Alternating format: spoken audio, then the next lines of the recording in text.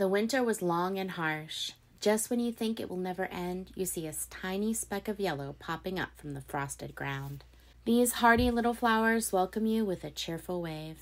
Today, we are learning all about one of my favorite flowers, daffodils. These bright, cheerful flowers are among the first signs of spring, bringing color and life after the long, cold winter. But there's so much more to daffodils than just their beauty. Where do they come from? Why do they have such a strong connection to poetry and culture? And did you know they have some surprising scientific properties? In this video, we're going to explore the history, symbolism, biology, and cultural significance of daffodils, as well as some fun facts you might not have known. Let's get blooming. Daffodils belong to the genus Narcissus, which includes around 50 species and thousands of hybrid varieties. They are part of the Amaryllis family and are native to Europe and North Africa. These perennial plants are known for their trumpet shaped flowers, usually yellow, though they can also be white, orange, or even pink. The flowers bloom in early spring, often emerging even when there is still snow on the ground. Daffodils grow from bulbs, which store nutrients to help them survive through winter. Their leaves are long and narrow, and their flowers typically typically have six petals surrounding a central corona or trumpet.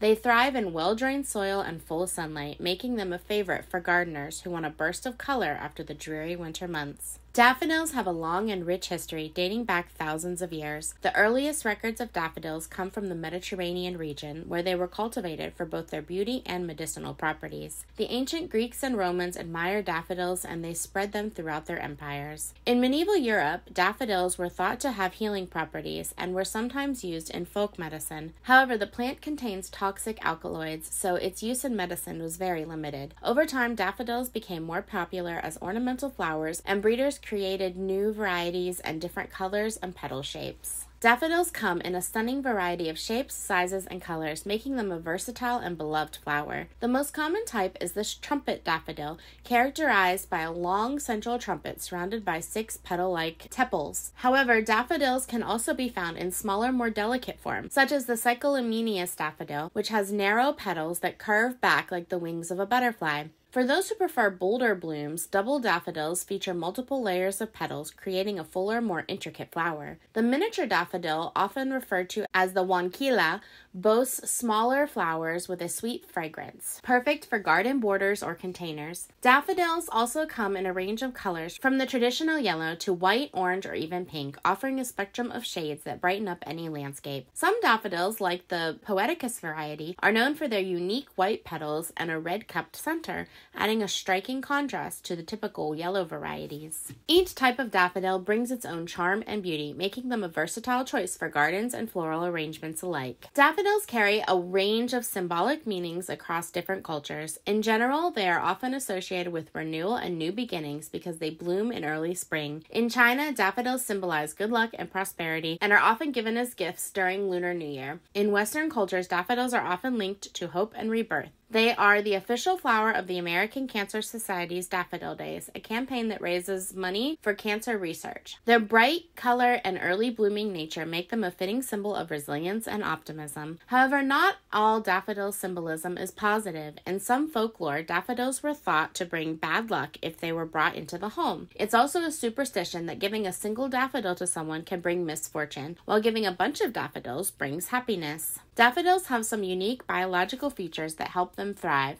One of their most interesting adaptations is their ability to produce toxic chemicals that deter herbivores like deer and rabbits. The toxic compound lycorine is found in all parts of the plant, particularly the bulbs. This helps ensure that daffodils remain largely uneaten in gardens and wild landscapes. Daffodils also have a fascinating method of reproduction. They can grow from seeds, but it takes years before they flower if grown from seeds. They more commonly are reproduced with bulb division. As a bulb matures, it produces smaller bulbs or offsets that eventually grow into new plants. This allowed daffodils to spread and naturalize in an area, creating beautiful clusters that return year after year. Another remarkable trait of daffodils is their phototropism, meaning that their flowers naturally turn towards sunlight. This adaptation allows them to optimize their exposure to light, ensuring they capture as much sunlight as possible for photosynthesis. By constantly adjusting their position, daffodils can maximize their energy production, which is essential for their growth and blooming. This ability is particularly beneficial in early spring when sunlight levels can still be relatively low, helping the flowers thrive in a variety of environments. Daffodils use photosynthesis to get energy. Photosynthesis is the process by which plants, algae, and some bacteria convert sunlight into energy. It takes place in the chloroplasts of plant cells where chlorophyll, the green plant pigment, captures sunlight. During photosynthesis, plants take in carbon dioxide from the air and water from the soil. Using energy from the sunlight, they transform these into glucose, a form of sugar, and release oxygen as a byproduct.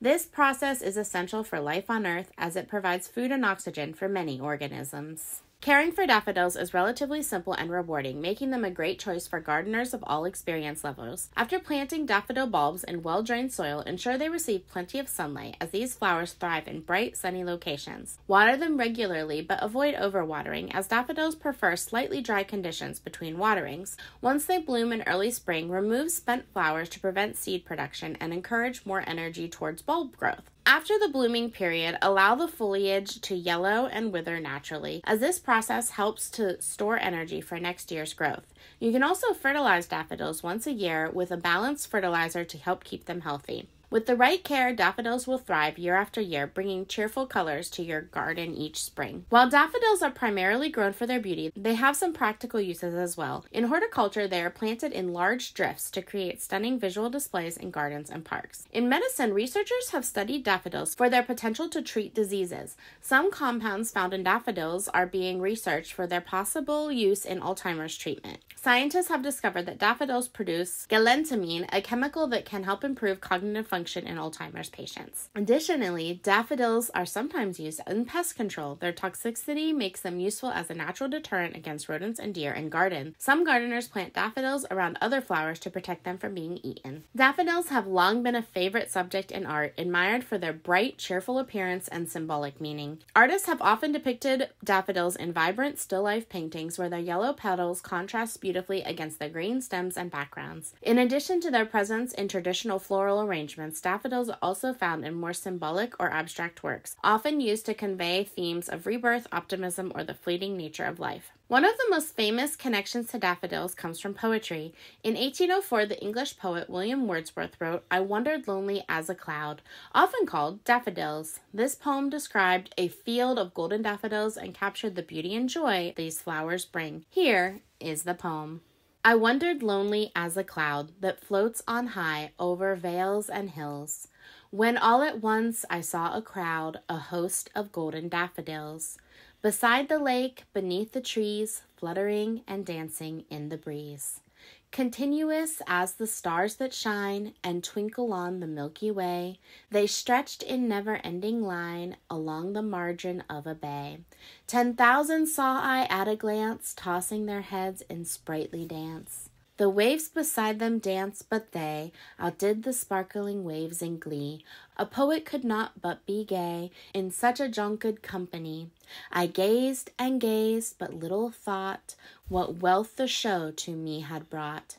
For aught when on my couch I lie, in vacant or in pensive mood, they flash upon that inward eye, which is the bliss of solitude. And when my heart with pleasure fills and dances with the daffodils.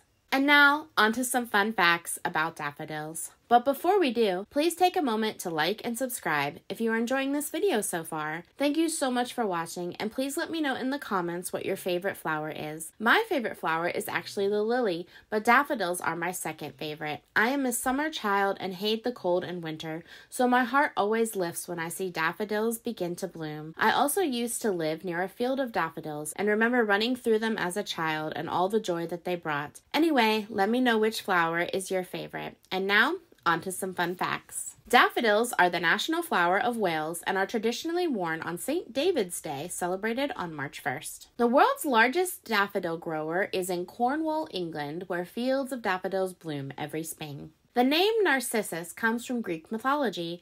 Narcissus was the name of a young man who fell in love with his own reflection. Some say daffodils were named after him because their heads droop, as if they are looking at their own reflection in a pond. Daffodils have been used to make yellow dye for fabric. In Victorian times, giving daffodils as a gift was a way to express admiration and respect. The Keukenhof Gardens in the Netherlands plant millions of daffodils each year as part of their famous spring flowers display. Daffodils are more than just a pretty flower. They have a long history, deep cultural meanings, and even scientific importance. Whether they are brightening up a garden, symbolizing hope and renewal, or playing a role in medicine, daffodils continue to captivate and inspire people around the world. The next time you see a daffodil, take a moment to appreciate its beauty and the many fascinating stories behind this beloved flower. Thanks for watching, and don't forget to like and subscribe for more in depth explorations of the world around us. Teachers and homeschooling parents, if you are teaching about daffodils, please sure to check out the link in the description for educational resources to make learning fun and engaging while making prep time easy for you. Thank you so much for watching, and don't forget to get messy and make lots of mistakes today. Bye!